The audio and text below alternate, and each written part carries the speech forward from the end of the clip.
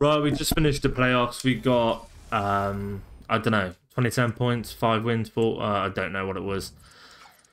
But we've got some packs from it, so hopefully we can get something good. I say hopefully, probably not. We've got an 83 plus times 2 and 82 times 2. That's from something else. That's going to be no good. And 84 and 85 isn't the worst, and it's no dupes, so it's a win. 82 plus times 2. Again, let's get that Portugal. It can't be Ronaldo because he's a Team of the Year now. Or Team of the Year nominee.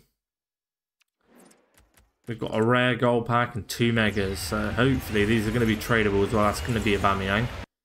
Hopefully they will be somewhat okay. Oh my god. Uh, why was I thinking of Aubameyang is like 85 rated? He's 80 rated. God damn. God damn. Mega pack. Yes! Come on, man. Don't be laughed. I've packed already. Why?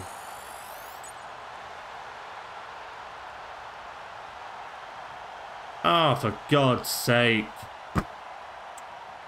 I mean, it's a win, right? But I've packed already. It's tradable again. So, We'll do that, but it's just a tad annoying, isn't it? I mean, it's not. We've got one. I'm not moaning.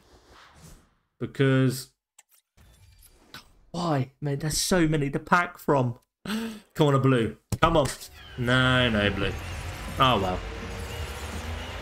Oh, wow.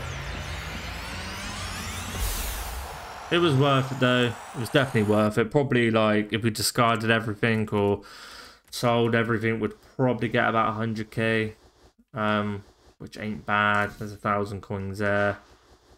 Um, oh, get rid of him. Nope. That one.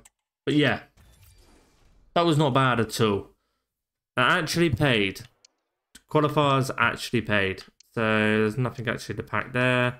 Until next one, boys. Peace.